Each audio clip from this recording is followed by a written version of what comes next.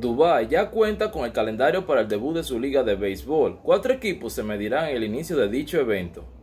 La Liga de Béisbol de Medio Oriente y el Sur Asiático ya tiene fecha de arranque y es que la llamada Baseball United comenzará el próximo viernes 10 de noviembre de 2023 con el encuentro entre los Cobras de Mumbai, representantes de la India y los Monarcas de Karachi, equipo proveniente de Pakistán.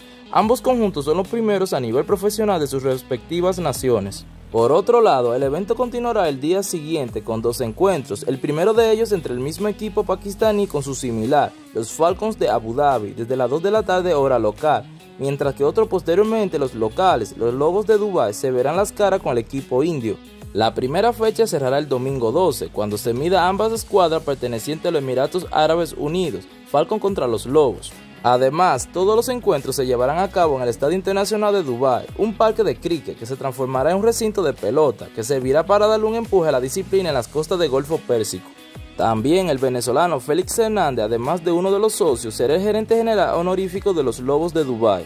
A raíz de la creación de este circuito han surgido ciertas preocupaciones sobre cómo impactará a otras ligas.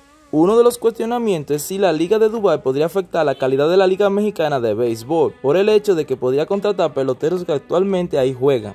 En redes sociales, más de un usuario aficionado ha externado su preocupación y puesto sobre la mesa el cuestionamiento de qué pasará con la Liga Mexicana de Béisbol con la creación de Baseball United. Si bien en el continente asiático hay gran potencial de peloteros que podrían conformar el nuevo circuito, las franquicias podrían voltear a ver a jugadores del circuito de béisbol mexicano y podrían ofrecerles contratos atractivos para hacerse de sus servicios.